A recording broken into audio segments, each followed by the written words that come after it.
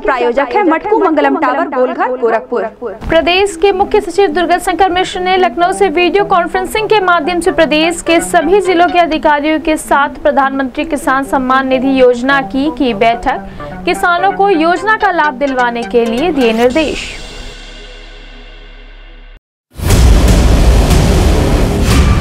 गोरखनाथ मंदिर में ब्रह्मलीन महंत द्वय की स्मृति में संगीतमय श्री राम कथा बुधवार से व गुरुवार से सामयिक विषयों पर होगा व्याख्यान। युग पुरुष ब्रह्मलीन महंत दिग्विजय नाथ महाराज व राजचंद ब्रह्मलीन महंत अवैधनाथ महाराज की पुण्यतिथि समारोह के शुभारंभ व समापन अवसर पर उपस्थित रहेंगे मुख्यमंत्री एवं गोरक्षपीठाधीश्वर योगी आदित्यनाथ।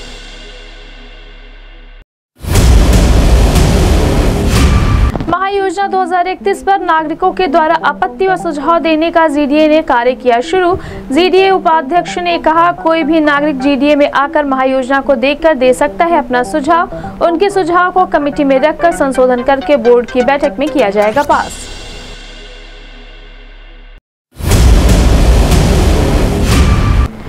घंटे के अंदर लूट करने वाले दो अभियुक्तों को उर्वा थाने की पुलिस ने किया गिरफ़्तार। लूट का सोलह सौ रूपए, एक मोबाइल, एक जोड़ी पायल, एक आधार कार्ड, एक लेडीज़ पर्स किया बरामद भेजा जेल।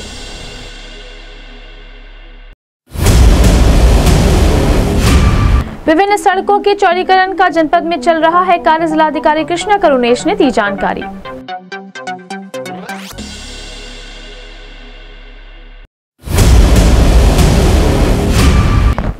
शाहपुर थाने के सातिर अपराधियों पर गैंगस्टर का मुकदमा हुआ पंजीकृत। एसपी सिटी कृष्ण कुमार विश्नोई ने दी जानकारी।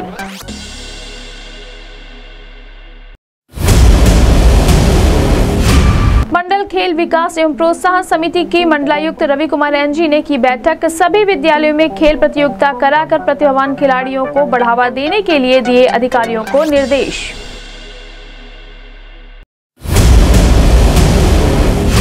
जनपद में बिना मानचित्र के बने होटलों की जीडीए करेगा चेकिंग। टीम किया जा रहा है, गठित करेगा बिना मानचित्र वाले होटलों पर कार्रवाई। जीडीओ उपाध्यक्ष प्रेम रंजन सिंह ने दी जानकारी।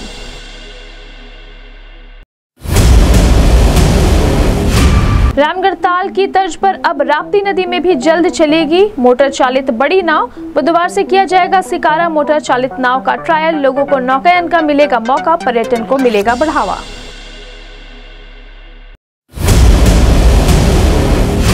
फरार चल रहे चौलीचौरा थाने के शातिर अपराधी सुरेश कुमार पर एसएसपी डॉक्टर गौरव ग्रोवर ने पंद्रह हज़ार का इनाम किया, घोषित एसपी नॉर्थ मनोज कुमार अवस्थी ने दी जानकारी।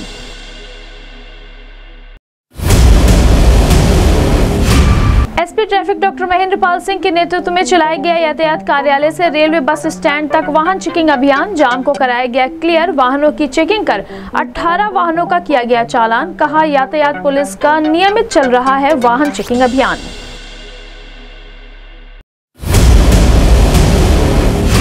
जनपद के व्यापारी बंधुओं के साथ एसएसपी डॉक्टर गौरव ग्रोवर ने की बैठक। व्यापारियों की जानी समस्या कहा, व्यापारियों की सुरक्षा है हमारी पहली प्राथमिकता, उनकी समस्याओं का होगा समाधान।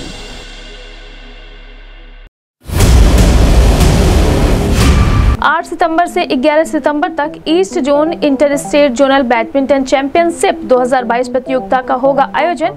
अपर मुख्य सचिव खेलकूद नवनीत सहगल करेंगे प्रतियोगिता का उद्घाटन। जिला बैडमिंटन संघ के सचिव राजेश श्रीवास्तव ने दी जानकारी।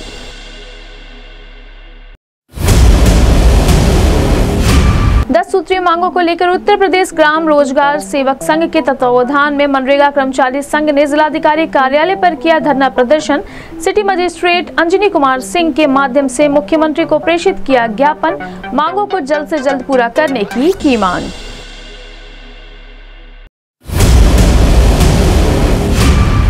नदियों के जलस्तर में जनपद में लगातार हो रही है बढ़ोतरी। जिलाधिकारी ने कहा, नदियों के बढ़ते जलस्तर को देखते हुए बांसगांव और बड़हलगंज के संवेदनशील क्षेत्रों के लोगों को पहुँचाया गया सुरक्षित स्थान पर 14 बाढ़ चौकियों को रखा गया है। अलर्ट पर बाढ़ से निपटने की है पूरी तैयारी।